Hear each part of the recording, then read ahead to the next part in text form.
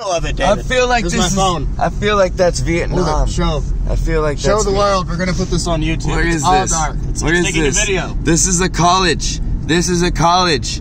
What is no, no, no.